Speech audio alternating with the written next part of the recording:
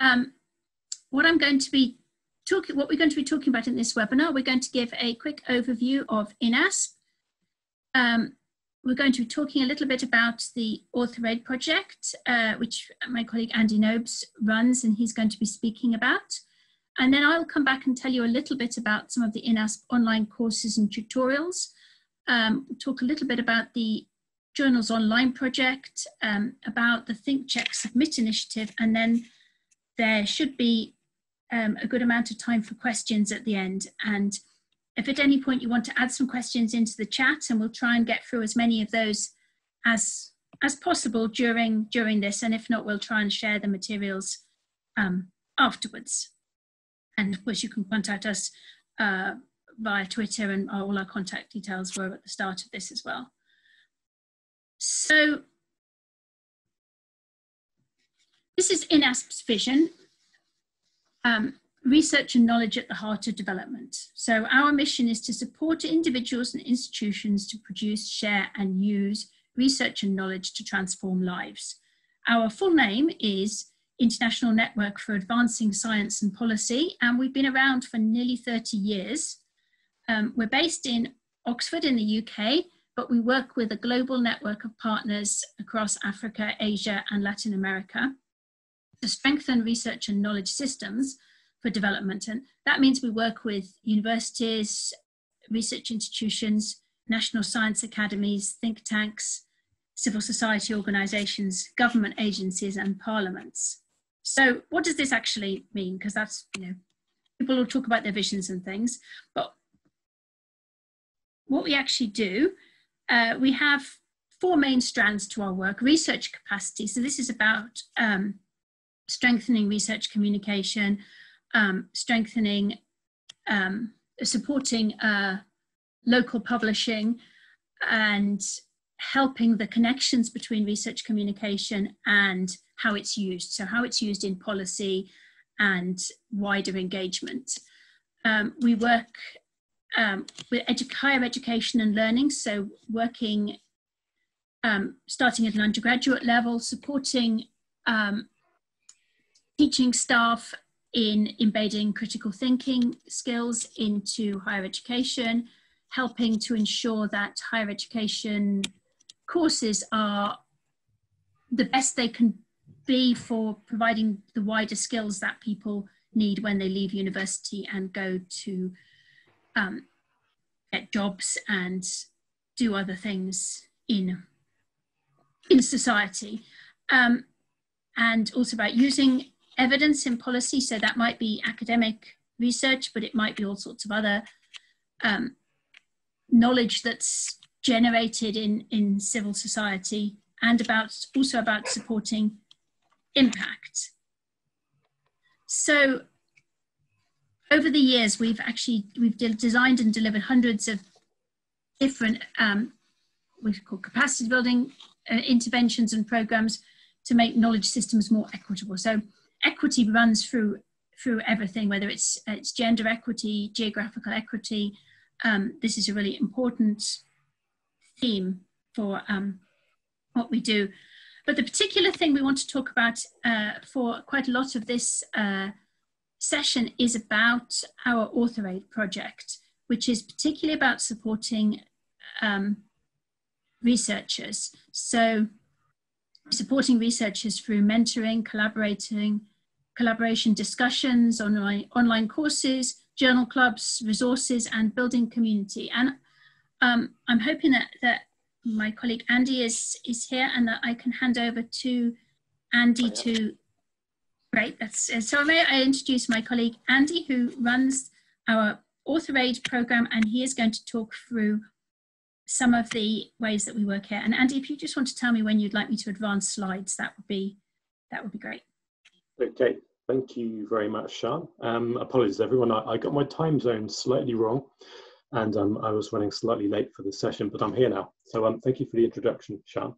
So um, AuthorAid, as Siân has already pointed out, is a, a particular part of, of INASP, uh, focusing on research communication. So it's a project that's been going about, um, I think it's 11 years now. And the, the focus of AuthorAid is to help researchers, young researchers, early career researchers in the, the global south, in Africa, Latin America, and Asia. And over the years, we've built up a community of over 20,000 researchers from all over the world, from, well, we say 174 plus countries, but I think we've more or less managed to find um, researchers and others in every, every country in the world, I think apart from Greenland. So um, we provide lots of different services for young researchers on our website. Um, just to quickly say that everything that we provide is actually free at the point of use. So as a researcher, you can come onto our website, sign up for all of the things that we offer, and they are of no charge to you. Over the years, we have provided different things for our website. So if you go, go to look at what's on the website, we've got lots of news, uh, resources, blog posts.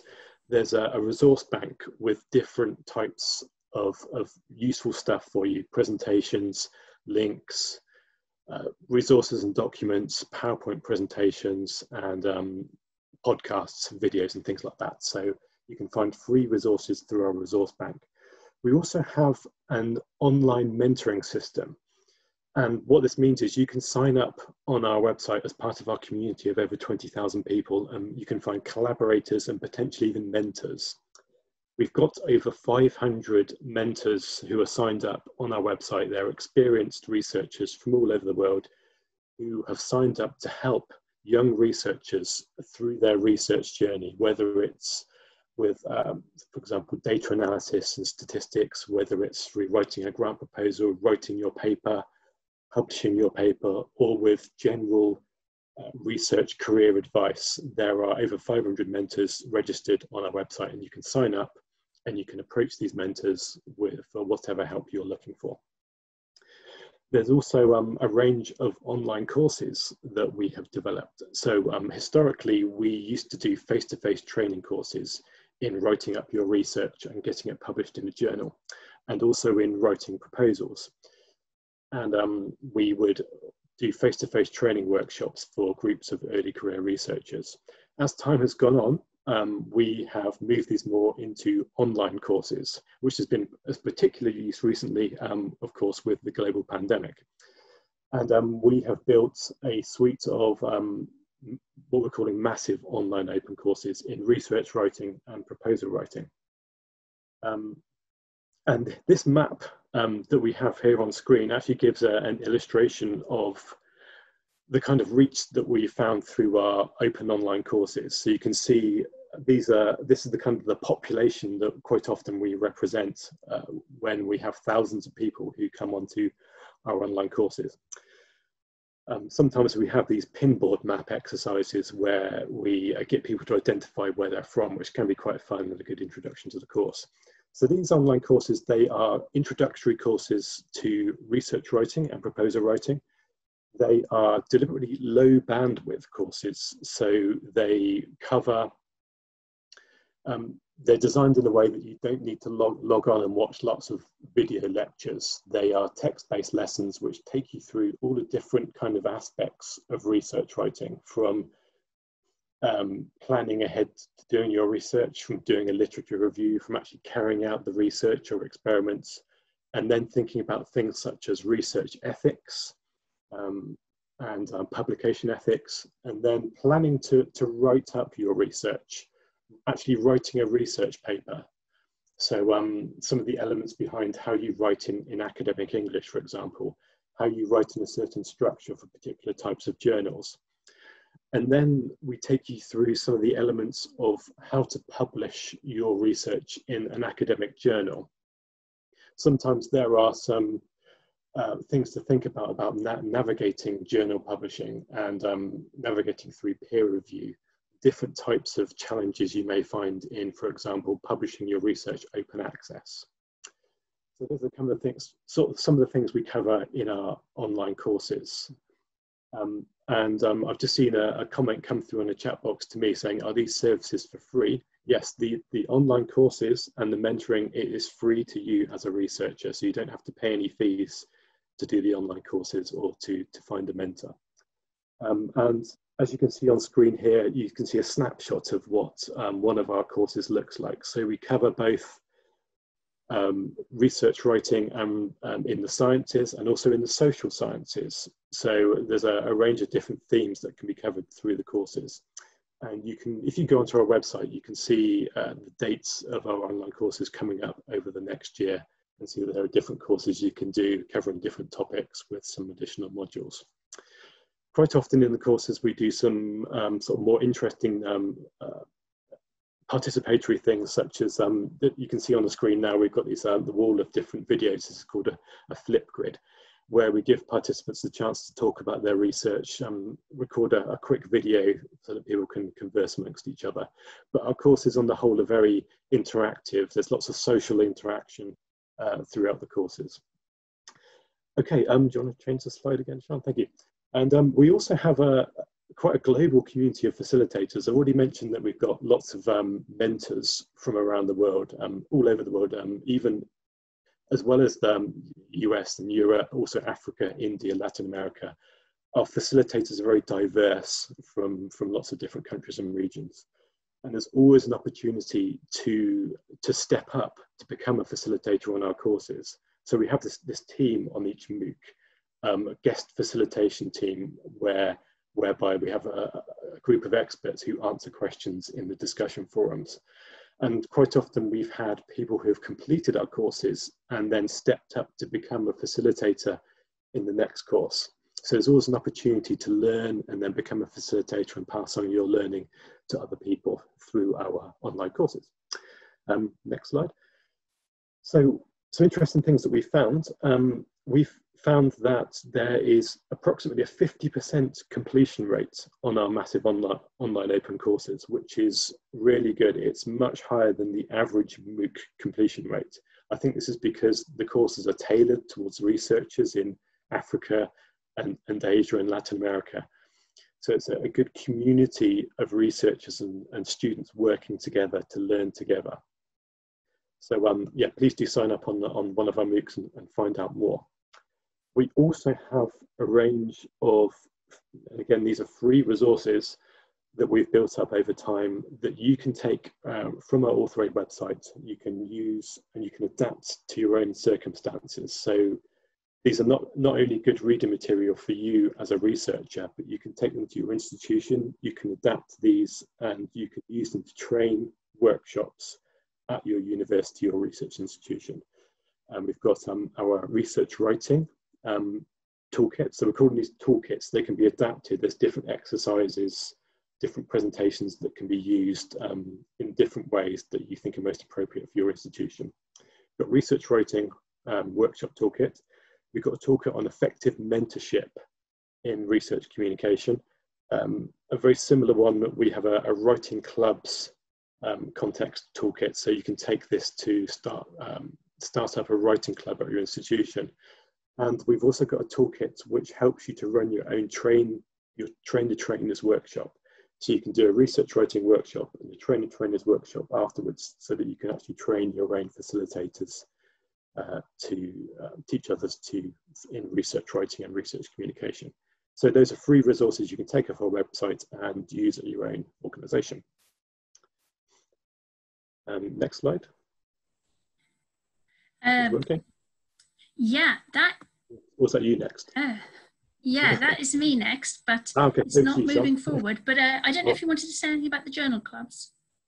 Yes, the journal clubs. Good point. Um, what we've been doing over the last year, uh, we well, first of all, we have um, we recently restarted a, a, discussion group on Google Groups, and you can find out more about that on our website. Um, if you go to, I think it's the discussion tab on our website, it will redirect you to our new discussion group. Um, it's just restarted, it's got about 500 people, and it's a good place to ask questions and um, you'll get a response with the other members of the group.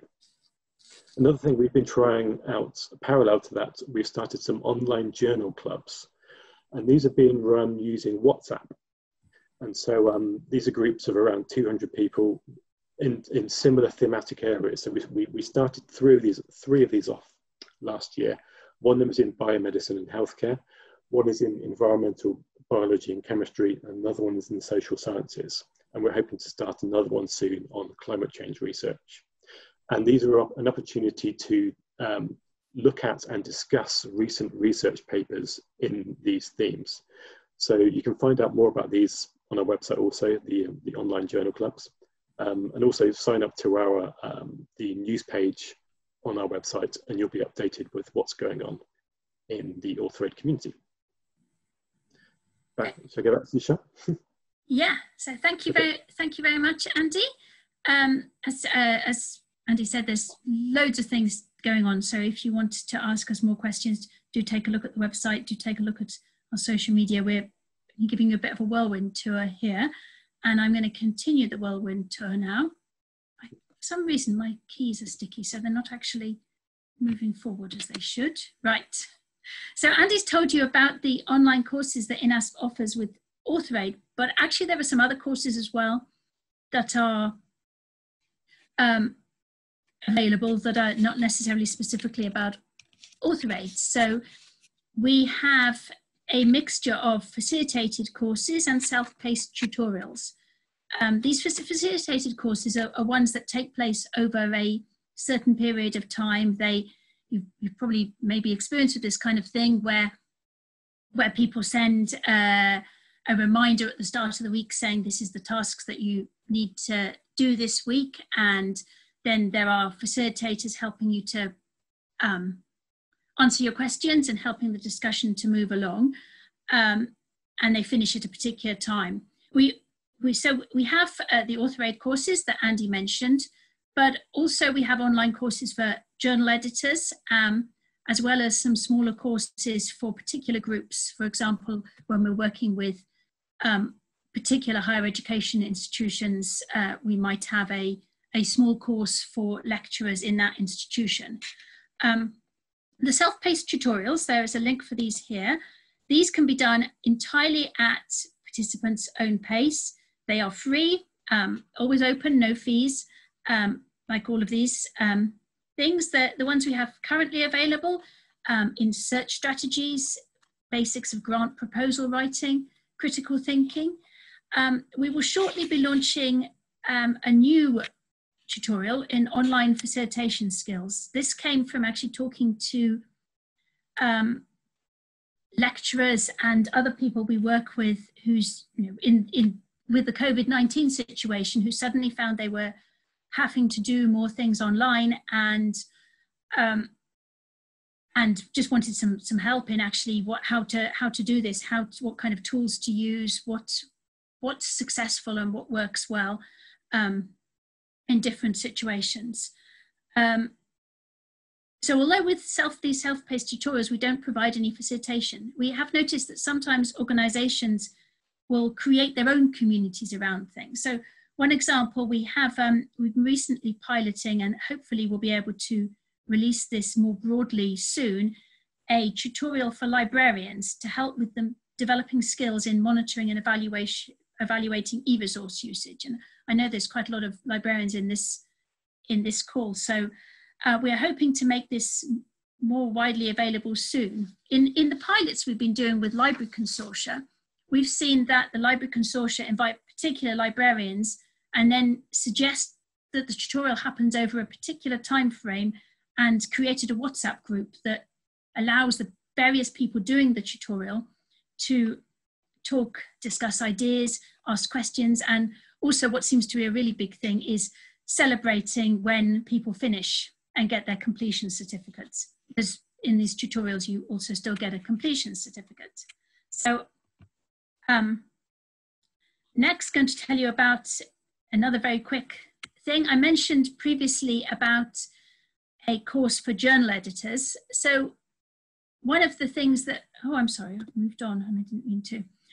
Um, one of the things that we, we got involved in in the late 90s was recognizing that there is a huge um, imbalance between, if you look at any of these global databases of, of journals, Web of Science or Scopus, they are really, really dominated by journals from Europe and from North America. Oh, I don't know why, but this, this keeps moving. Um, and I think I may have, oh, right. Oh, I'm sorry. I'm sorry, I've made a mess of this. View from current site. Um, yeah, okay, hopefully you can back now see this slide again. So these databases are hugely dominated by journals from Europe and from North America, but actually there's a, an enormous wealth of, of journals from um, from Africa and from Asia and from Latin America that were just not being seen.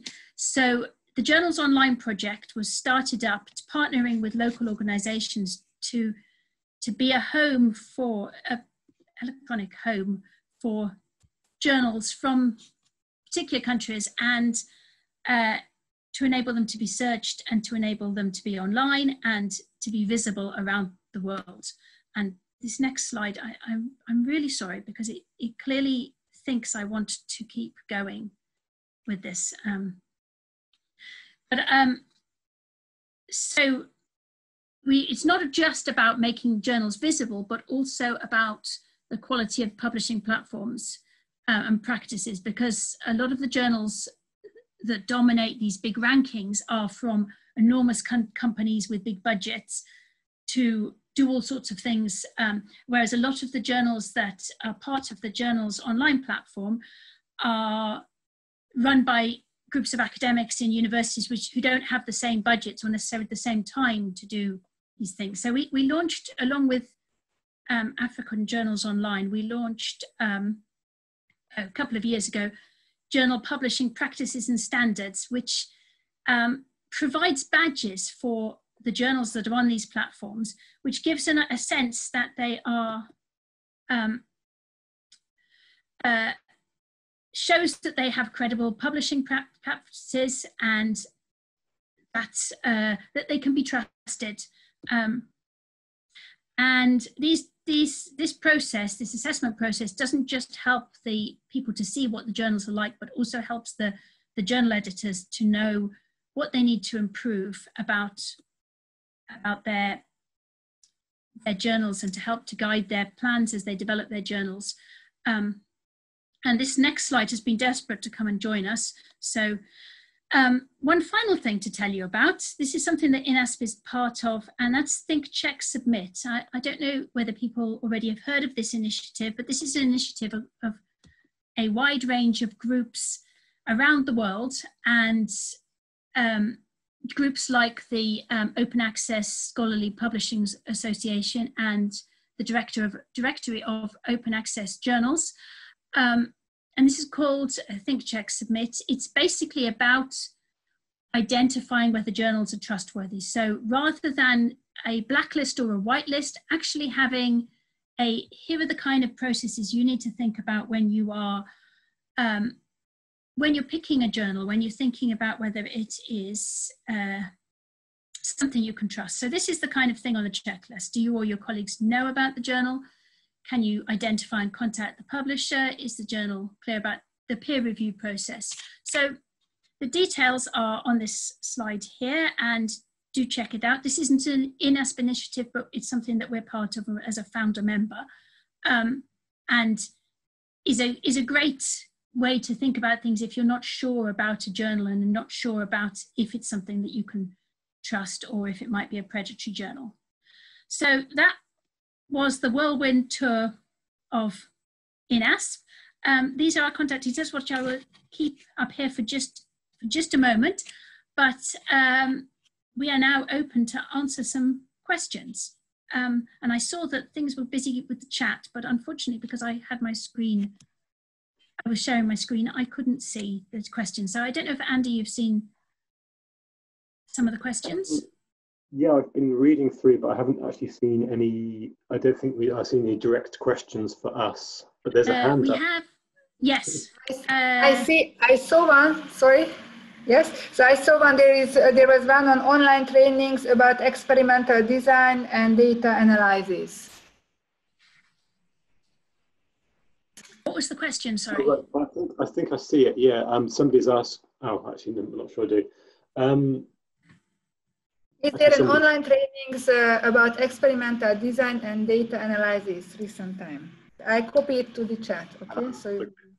Oh, okay, okay, thank you. I think somebody asked me that um, privately as well.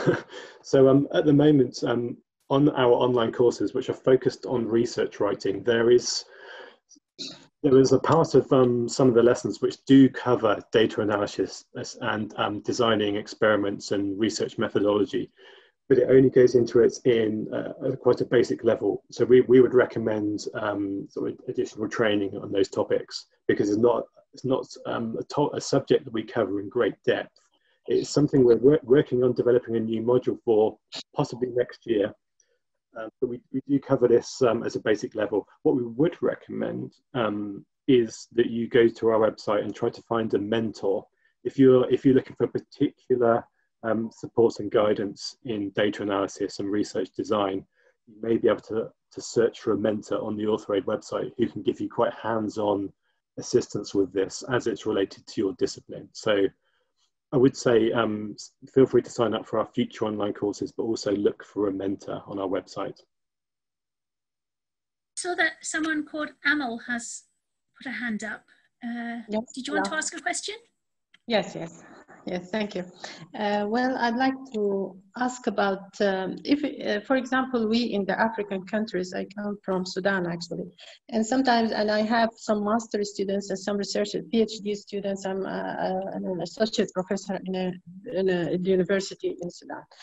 And uh, sometimes, if we uh, about the editing, I think if you can give us some kind of editing services because uh, sometimes we write well and uh, you see that um, for example our, our, students have got uh, good english and everything but i still i think we, we still we cannot compete with the european world in writing. And although we have courses about academic writing and so on if, if it is possible to have some kind of editing services is that uh, possible? Because it is very expensive to send to an uh, well trusting uh, well trusted editing uh, company or something like that.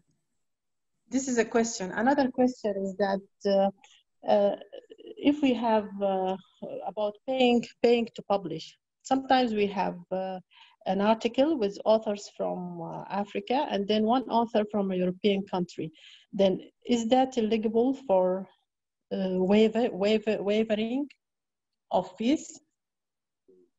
Good question. Um, two, two good questions, actually. Um, I mean, the, the first one, I mean, and Sharon, you feel free to, to also um, answer as well. Um, the, the first question on the editing, I mean, that's, that's obviously a, a big issue, uh, um, particularly if English is not the first language of your, of your region. Um, whilst, whilst we're, we're aware of there being editing companies that can provide this service, obviously quite expensive. Now yes. there, there, are um, yeah there are many um, mentors listed on the AuthorAid websites who actually provide this service. They part of their the offering which they're happy to provide um, at no cost is help with editing your paper. Um, yeah. If, if, when you when you search for people on the AuthorAid website, make sure you look for um, language editing or proofreading there, there are some that, that provide specifically scientific skills and career mentoring. They're, they're quite different types of mentor. They offer a different type of support, but there are also some that offer help with, with um, editing your paper. Just to add, I'm, I'm actually an author aid mentor myself. Um, my research background is chemistry, and I have edited a few papers to help people and, and guided about, about the English, but also a little bit about the my, my research background is quite a long time ago, so a little bit rusty, but ask the kind of questions that um, that people might want to think about that, that feel like they're missing from, a, from the drafts I've seen. So um, I, I can't speak for all the mentors, but that's certainly how I approach it when I'm mentoring. Great. Yes. Um, Thank you the, very much. The publish, uh-huh. the paying to publish question. Andy, did you want to answer that or shall I? Um, yeah, I mean, it's, it's a very it's a very very good question. I mean, the, the first thing I would say is that, I, and I saw that this is the top answer given in the poll that we did. Um, difficulties paying to publish. So I think it's worth us kind of co covering this in some kind of um, depth. Um, quite often, when quite often when you're looking to publish in a journal, there, there may be a publication charge in some journals. This is not always the case. This is only for um, reasonably high ranking open access journals. And quite often there will be a, other options where you don't need to pay as an author and you need to be aware of the different options that you have.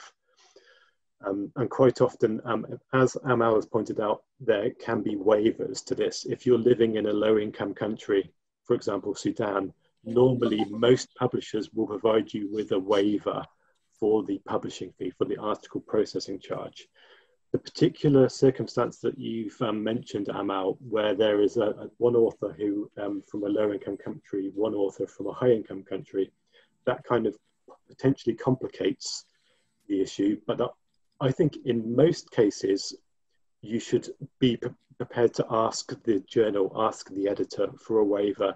That I think the the the rules aren't always as strict as you might think. Quite often, journals are prepared to um, provide a waiver for you uh, if you know if your research is really good and they really want your it to feature in your journal. They particularly want a diversity of authorship. If you're in any doubt, just ask, and you you might be surprised at how what opportunities that journal are provided um, available to give to you. Siân, did you want to? Yeah, thank you very much. Uh, that was so great. Okay. uh, it seems like there's another question that's a little bit. Uh, similar about individuals access aid for publication for journals or institutions. Um, I think I think you've answered that that Andy actually about waivers from publishers.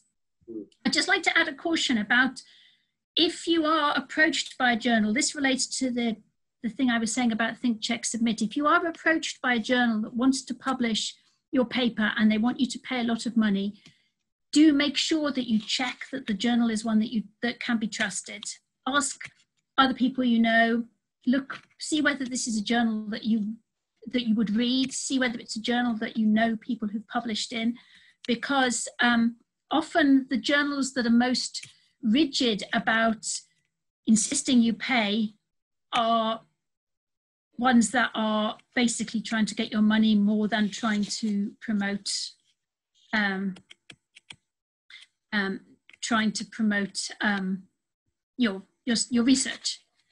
Um, so just be careful. Um, it's interesting, the question here, why are journals published in G8 um, nations considered to be of higher quality when indeed it's tougher publishing in national journals where there are more rigorous reviews? That is a really good question and a really important point. Um, that is, that is um, something that we we keep challenging and we want to challenge, we want to help to promote visibility um, of journals around the um, around the world and the various issues.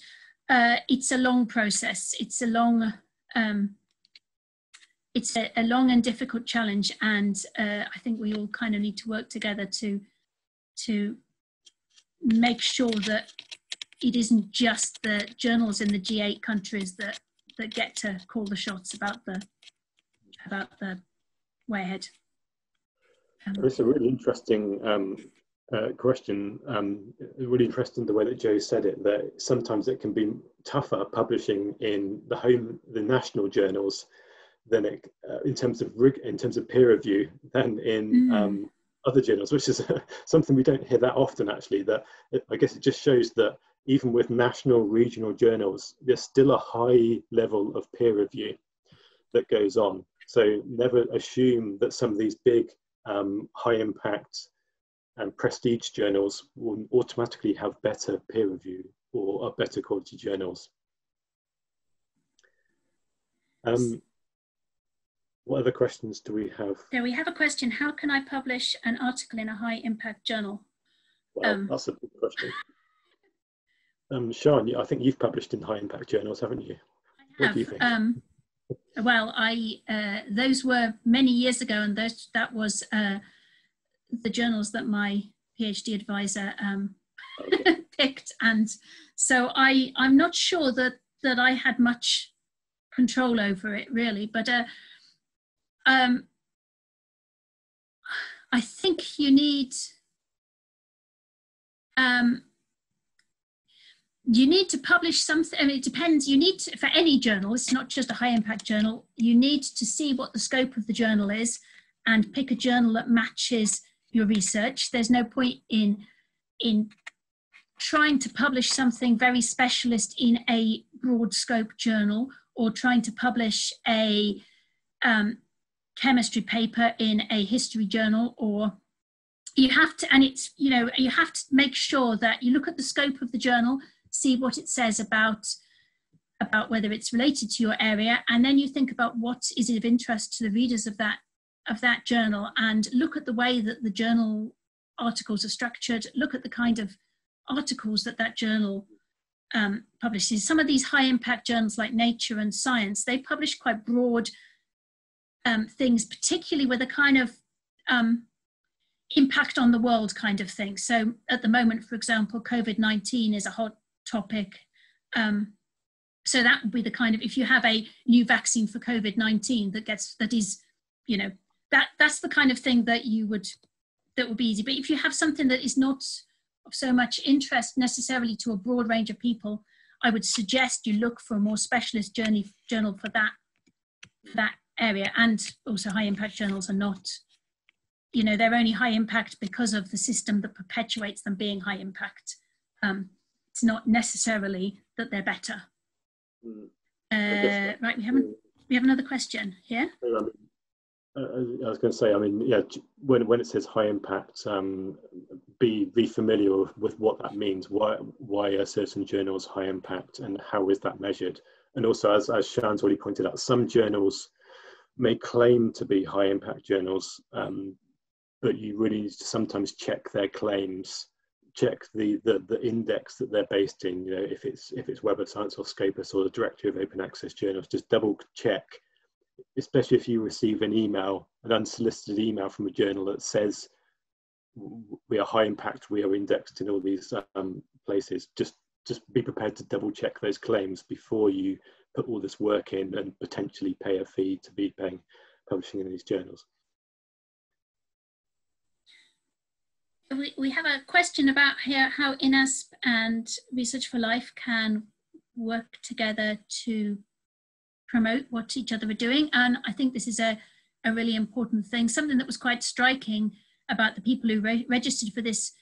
There's quite, there's quite, the communities that um, INASP and Research4Life um, work with aren't, they, they should be kind of pretty much perfectly aligned, but actually I think there's quite a lot of people who know about one or the other, and um, I guess we all have a role in in sharing any bits of information and useful sources that may help others, um, irrespective of whether we run them or whether somebody else runs them. Um, right, we have some more. We have a question about whether online, whether the courses are available to individuals or institutions. Um, individuals. You can just go to moodle.inasp.info and sign up. Uh, sign up to the tutorials now. Uh, sign up for interest for a course and we'll let you know when the course is happening next. Yeah, um, and if you are part of an institution um, and you want to, to, to potentially run one of our courses to your institution, let us know. Um, they're, they're meant for individual, anybody can sign up, but um, if you want to kind of think about how it can be adapted for your own university, then um, please get in touch. Oh, Siân, there's another there's question about open access. yeah. Be, uh, um, uh, open access journals? Yeah. Is it good for a research scientist? It's a big question. It depends on the journal. Like just like with a journal that you pay to read, some of them are good, some of them are not so good. Uh, I think on balance, there's a benefit to publishing your, if you want to reach a, wider audience and you want to make sure that people in, in your own country and in your field can definitely access that, then it makes a lot of sense to publish in an open access journal or also, a, or alternatively, of course, a journal that is available through Research4Life to those that community you want to reach. Um, but there are good open access journals and there are bad open access journals. There are good subscription journals. There are bad subscription journals. So no, there's there's it's a whole multitude of of things. How to choose a good open access journal is um, a question I think came privately to me. Actually, that is an enormous question. Um, mm. we've got five minutes, four minutes left of this webinar, I think. So, um, so I'm not sure that we can fully do that. Perhaps that is a that is a topic that um, Research4Life might like to schedule for another webinar. Mm. How how to choose the right journal is a is a big question. It is a really I think big I'm question. Siân already kind of like you kind of mentioned this in a, a previous comment about identifying journals that you have perhaps found in your reading list. I think actually you, you wrote about this, Siân it's a good way of sort of thinking ahead to what journal you're going to look to publish your research in. What have you read already? What's cited in the research that you've read already? So you just look down the reference list, you can see the sorts of journals that you should ideally be looking to publish in. Um, but in terms of choosing an open access journal, I mean, that's uh, another big question. Um, I mean, I, th I think there's uh, some there's some research that shows that um, if you publish open access, you're more like there's a you're more likely to be cited I think some recent research on that. So it does have its benefits for your research to be open access, not only in terms of citations, but also in terms of reaching the public, reaching policymakers, industry, and just a broad uh, as audience as, as you possibly can, really. Um, We've got a very quick question here. Is NEPJOL supported by INASP? Yes. NEPJOL is one of the journal's online journals. Uh, it is, as with all the current journals online, platforms. It's now managed and run locally from Nepal. We originally set it up in partnership with, um, my pronunciation is not great, but um, Tribhuvan University in um, Nepal. And over the course of the time of, of it, of, from it being set up until a few years ago, um, we were handing over the management of the whole process and it's been run um, locally, but we still provide support with um, editor training and with the journal assessment that I was telling people about. Which index system of journals is most reliable? Wow, I mean, yeah. um, I mean that, that's a very subjective question. I, I, I, I think in a way, um, subjective answer rather, I would say you've got your very commercial databases such as the Web of Science, such as Scopus, which are very rigorous um, and you could say they're very reliable as well. Um, perhaps there are other indexes which are broader and have um, sort of more geographically diverse. I think that, for example, the directory of open access journals um, is a very good source, particularly if you're looking for an open access journal in which to publish in. Yeah, and it's worth remembering that no journal, no list is perfect. So it's worth looking at several lists and it's worth just recognizing there are biases like uh, Web of Science is predominant, predominantly English language journals. Uh, if you particularly want to publish in, in a different language that's not English, um, and obviously we're doing this webinar in English, um, then that would be an important consideration. Um, and I put a link here to Think, Check, Submit, which guides through the kind of process and has some links to journal databases and some ideas about how to pick them. And I think we are um, unfortunately out of time. This has been a real pleasure um, to speak with you all today. Um, and thank you very much to Research4Life for hosting this webinar. Please do keep in touch with us and uh, you know, ask us more questions, follow us on, on Twitter and yeah, stay in touch. We hope it was useful. Thank you, Siân, and thank you, Andy, for your presentation. The webinar recording will be available on the Research4Life website. Yeah. Thank you, everyone. Thank you all very much. Thank you. Bye. Bye. Bye-bye.